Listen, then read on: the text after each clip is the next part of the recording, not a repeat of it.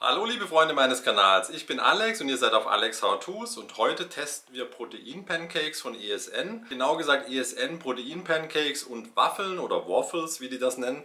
Ich habe bereits die Chocolate Chips getestet gehabt, fand ich richtig gut. Wenn ihr meinem Kanal folgt unten, dann seht ihr die Videos der letzten Zeit und da waren diese Chocolate Chips dabei, wirklich lecker, gute Nährwerte, wenig Kohlenhydrate, viel Protein.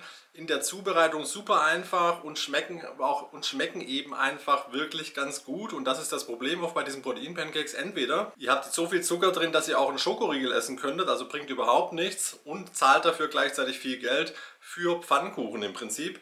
Oder die schmecken halt einfach nicht. Ja? Und bei ESN ist es so, ich habe das Proteinpulver seit Jahren schon immer mal wieder gekauft mit einem anderen Produkt, was ich auch sehr gut finde. Da wechsle ich immer ein bisschen ab. Beim Lidl gab es eben dieses Aktionsangebot. Das machen wir jetzt und testen das. Ich sage euch, wie das schmeckt und wie man das zubereitet. Legen wir also gleich mal los, liebe Freunde. Das sind diese Protein-Pancakes von ESN. Das ist jetzt Vanille.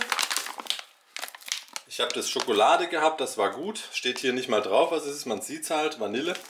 Auf der Rückseite steht es, glaube ich, irgendwo, ja, Vanillegeschmack. Und jetzt bin ich mal gespannt, wie das schmeckt. Ich, meine Frau hat schon welche gemacht gehabt. Die packen jetzt ganz neu. Wir machen das jetzt zusammen. Ich zeige euch, wie man das macht. Und dann probieren wir die. Und ich sage euch, ob die hier wirklich schmecken. Okay, laut Zubereitungsanleitung machst du 100 Gramm Pulver exakt abwiegen mit 200 Milliliter Wasser oder mit Milch, liebe Freunde. Zwei, drei Minuten stehen lassen. So, dafür habe ich diese Waage und dann noch einen Löffel, um um es genau auf 100 Gramm zu bekommen. So, 92.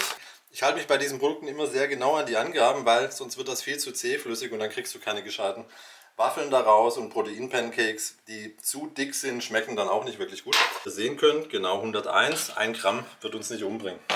So, dann müssen wir da Milch reinmachen, 200 Milliliter. Nicht fettarme Milch, man will ja jetzt nicht, wenn man so ein Protein-Pancake macht und so ein Produkt kauft, was ja nicht so günstig ist, wenn man mal ehrlich ist, dann möchte man es ja nicht mit einer fetthaltigen Milch hochtreiben in den Kalorien. Deshalb nehme ich dann halt immer eine fettarme Milch. 0,1% Fett habe ich nicht da, gibt es bei meinem Supermarkt gerade nicht. Würde ich allerdings bei Protein-Pancakes auch nicht empfehlen, weil Fett ist halt ein Geschmacksträger. Wenn ihr, je dünner ihr das macht, je weniger Fett da drin ist, desto lätschiger und weniger schmeckt das. Deshalb halte ich mich lieber an diesen 1,5% Fett.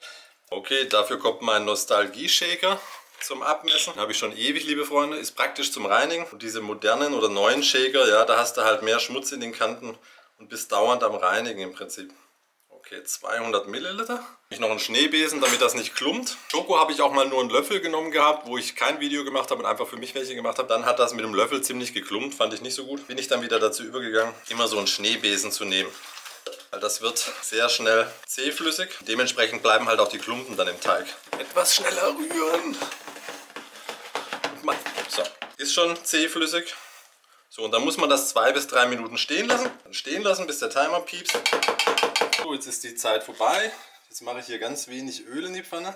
Natürlich solltet ihr nicht jede Menge Öl reinmachen, wenn ihr euch schon, schon mehr oder weniger teure Protein-Pancakes kauft und dann 300 Milliliter Öl hier reinschüttet, dann wird das natürlich nichts. Wichtig ist auch mittlere Hitze. Ich habe das bei diesen Schokoladen-Pancakes von denen schon festgestellt, wenn du die Hitze zu hoch hast, dann brennen die von außen sofort an und sind innen noch im Prinzip roh. Aber das ist, ist, hat nichts mit dem Produkt zu tun, sondern das ist bei jedem Protein-Pancake so, ja, oder bei Waffeln allgemein. Also mittlere Hitze und ich zeige euch dann noch einen kleinen Trick, damit ihr noch weniger Öl drin habt. Denn ihr braucht ja im Prinzip nur eine hauchdünne Beschichtung in der Pfanne und deshalb nehme ich gerne ein Papiertuch, fahre da kurz drüber, verteile das und das Papiertuch saugt dann das überschüssige Fett auf. Und ihr habt dann wirklich nur so eine hauchdünne Beschichtung, was was sehr gut ist. Der Großteil des Öls bleibt dann auf diesem Papiertuch hängen und ihr habt das nachher nicht in eurem Pancake. Okay, jetzt habe ich kurz abgewartet, dass es auch warm ist. Jetzt einen Löffel und dann macht ihr einfach den Teig rein. Mehrere Portionen natürlich. Mal sehen, was ich da rauskriege. 100 Gramm Pulver. Das ist ziemlich zähflüssig wie die Schokoladenversion. Das heißt, die sind ziemlich dick am Schluss des Tages. Schmeckt aber tatsächlich ganz gut, wenn die dicker sind. So, dann machen wir noch einen etwas größeren hier. Vier, aber ich habe nicht mehr viel übrig, ehrlich gesagt, deshalb verteile ich den Rest jetzt auch noch. Dann sind die lieber ein bisschen größer. Ich mag das nicht, wenn die so winzig sind. Okay, dann habe ich jetzt vier relativ große. Okay, dann lassen wir das kurz so. Ihr müsst immer aufpassen, dass die nicht anbrennen. Ja?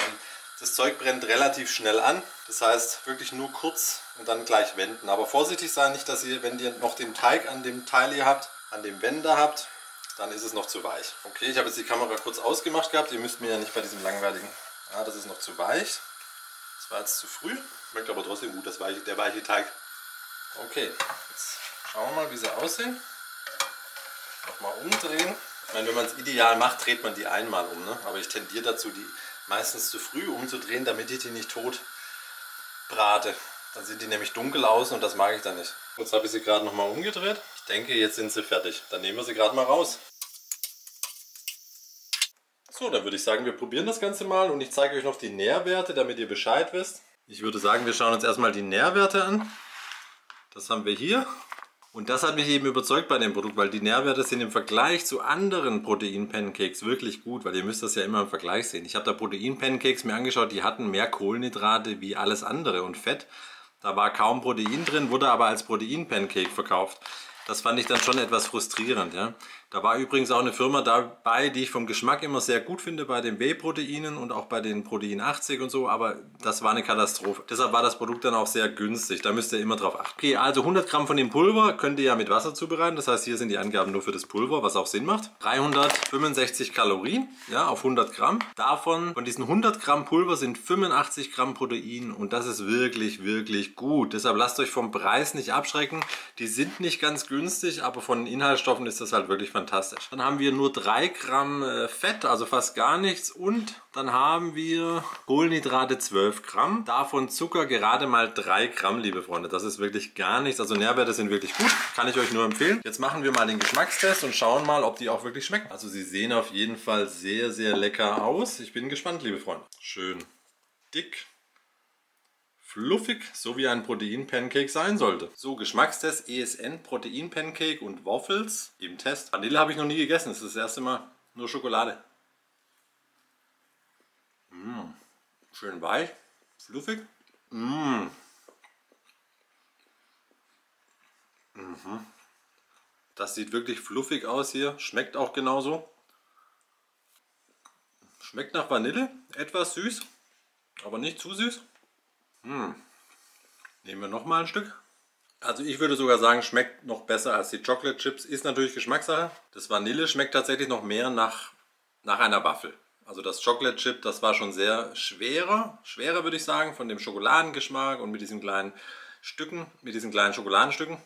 Das hat man hier nicht. Würde ich sagen, ist eher mein Favorit. Schmeckt noch ein wenig besser. Aber beide sind wirklich gut. Ich kann euch beide empfehlen. Und wie gesagt, schaut euch die Inhaltsstoffe an, wenn ihr ein Konkurrenzprodukt seht, wo ihr sagt, boah, das ist aber viel günstiger und das, ist, äh, das sieht vielleicht besser aus von der Verpackung oder so. Ja, aber schaut euch mal die Zutaten an. Ich habe das gemacht und dann habe ich gedacht, okay, also die meisten Produkte jede Menge Zucker und jede Menge Kohlenhydrate an sich. Steht aber Protein-Pancake drauf, sie ist aber kaum Protein drin. Im Endeffekt ist da oft eben viel auch Zucker drin und einfache Kohlenhydrate und das Ganze ist dann eben als Protein-Pancake. Das ist eben bei dem ESN-Produkt nicht der Fall und das finde ich gut, weil das ist der Sinn der Sache und dafür zahlst du halt dann am Ende des Tages vielleicht ein paar Euro mehr. Aber es lohnt sich. Übrigens noch ein kleiner Trick von mir, wenn ihr, wenn ihr zu denen gehört, die es gerne sehr süß haben. Überlegt euch mal Erythritol zu kaufen. Das ist ein Produkt, das sehr süß ist, ähnlich wie Zucker schmeckt und gleichzeitig 0 Kalorien hat. Ist etwas teurer natürlich. Äh, das Ganze ist nicht billig. Ich benutze das für einen Kaffee. Aber wie gesagt, 0 Kalorien ist gesundheitlich unbedenklich, wie zahlreiche Studien gezeigt haben. Also ich habe es zumindest so gefunden. Kann ich euch empfehlen, wenn ihr es drauf machen wollt. Allerdings schmecken die auch so schon wirklich gut. Wenn euch mein Video gefallen hat, gebt mir einen fetten Daumen nach oben da unten, abonniert meinen Kanal, schaut euch das andere ESN Protein Pancake Video an mit Chocolate Chips, vielleicht schmecken euch die ja besser. Unterstützt meinen Kanal, wenn euch das Video gefallen hat. Vielen Dank dafür. Ciao, euer Alex.